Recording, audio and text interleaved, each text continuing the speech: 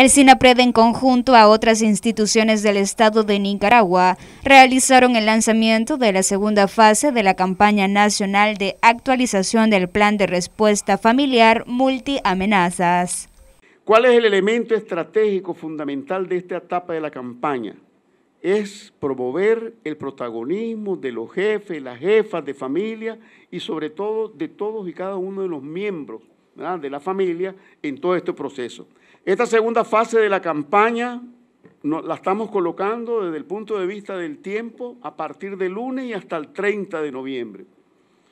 Dos elementos importantes, el porqué de este tiempo. Primero, porque la elaboración y la actualización del plan lleva como componente el elemento práctico y esperamos que en todo este proceso las familias pongan en práctica en el tercer ejercicio nacional que haremos en septiembre de, la actualización de sus planes. Tenemos que destacar que lo, más importante o lo más eh, esencial de estos planes es que están surgiendo desde el seno de cada hogar. Cada familia, como decía nuestro ministro González, está trabajando, está desarrollando, elaborando estos planes de de respuesta familiar desde sus propias realidades.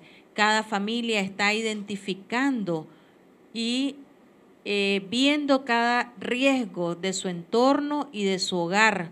Funcionarios del gobierno de Nicaragua dicen que tendrán 700 mil planes de respuesta familiar. Tenemos un poco más de 700 mil planes de respuesta familiar elaborados desde el aula de clase. Esto para nosotros ha sido fundamental porque viene a ser también la articulación entre diferentes instrumentos que como sistema hemos venido trabajando, como son los planes de respuesta escolar, los planes comunitarios de respuesta y ahora la articulación que estamos haciendo desde el aula de clase con los planes familiares de respuesta. Para Noticias 12, Luisa Centeno.